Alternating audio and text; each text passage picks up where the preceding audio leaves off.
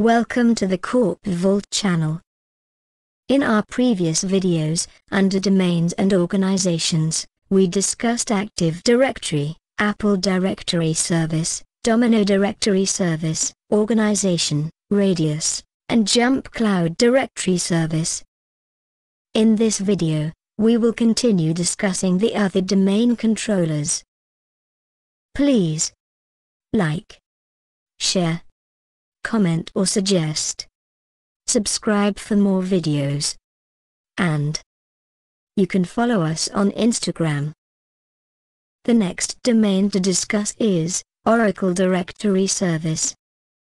You can add an Oracle Directory domain so that users can log on to the CommCell environment with their Oracle Directory credentials.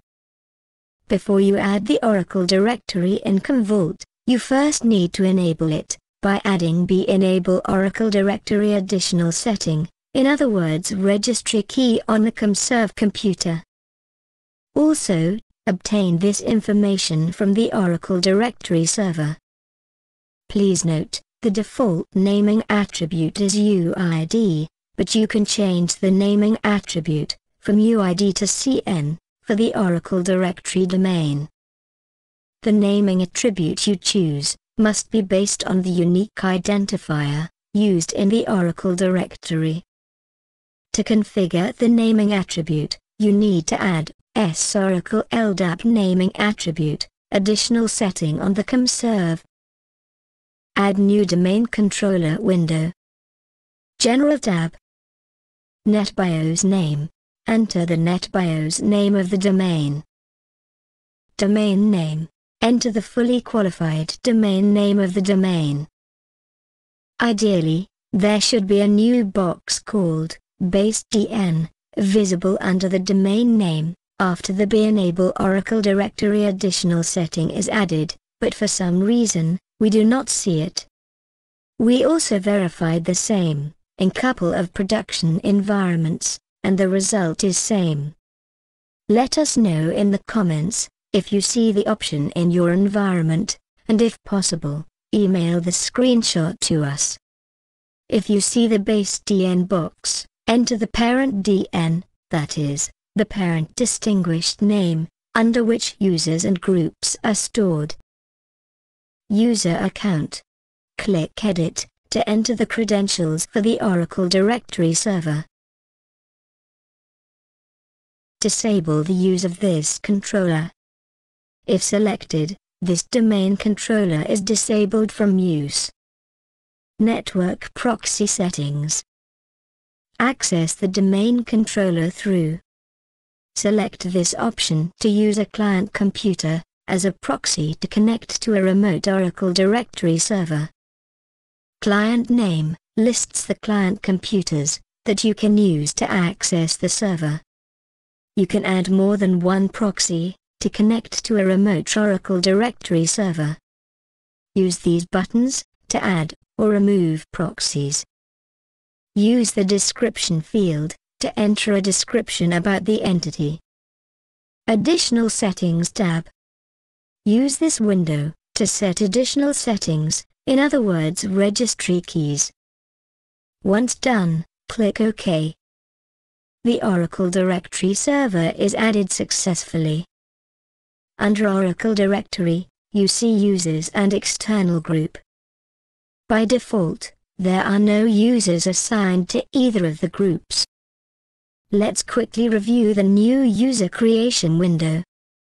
Right-click on Users and select New User.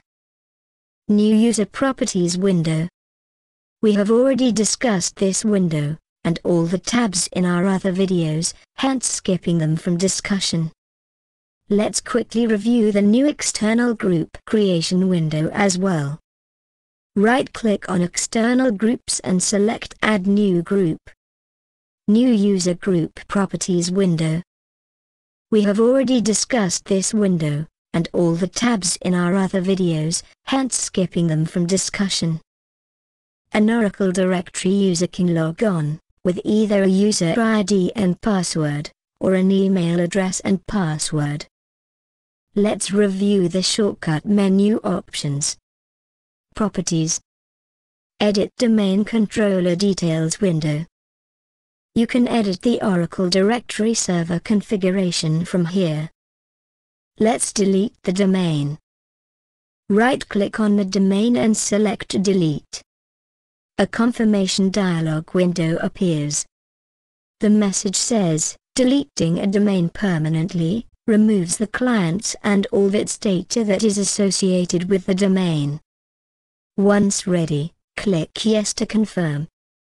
When you delete a domain or organization, you can transfer ownership to a different domain or user group. If you do not transfer ownership, any operations that use the domain controller entity will stop working. Transfer ownership from window domain lists the other domains available, to which the ownership can be transferred.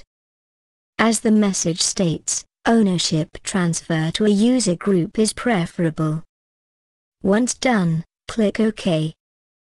The domain is deleted successfully. Moving forward.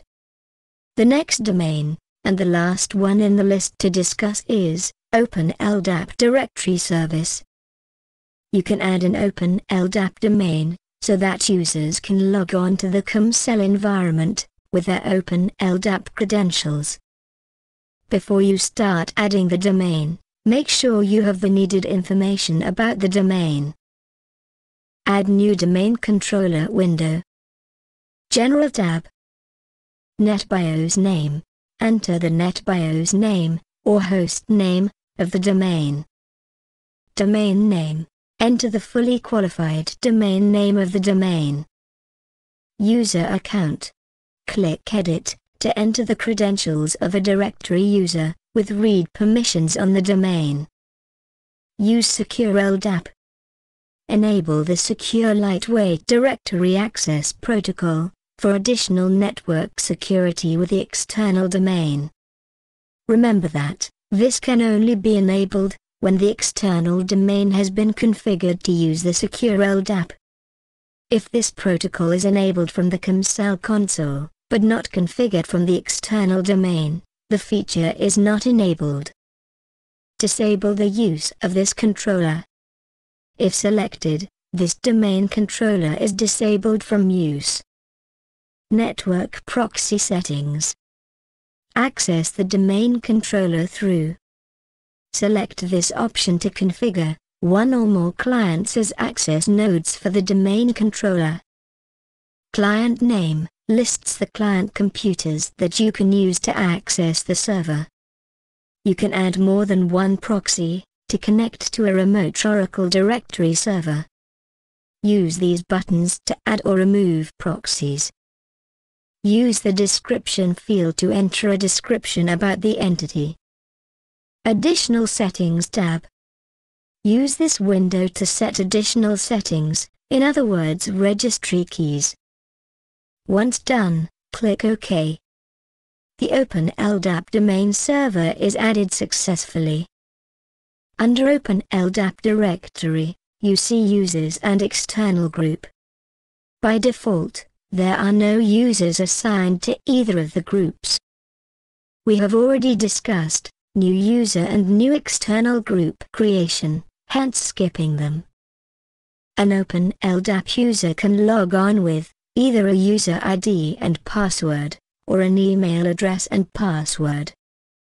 You can apply security associations to the open LDAP users, to control the access they have in the CommCell environment, and you can set quotas, to limit the amount of data backed up by the open LDAP users, Let's review the shortcut menu options.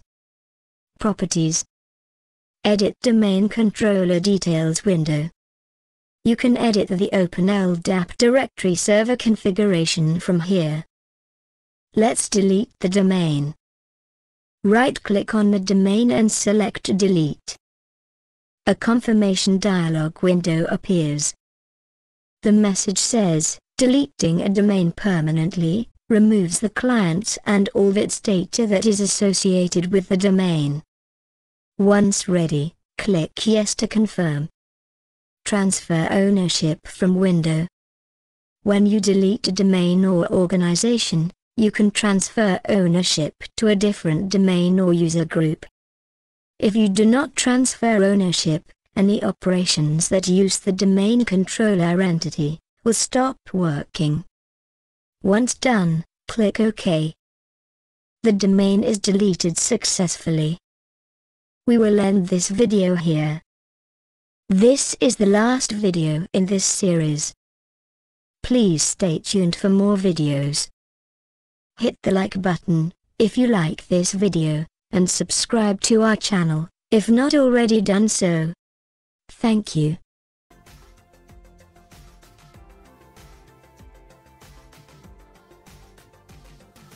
Do subscribe for more videos.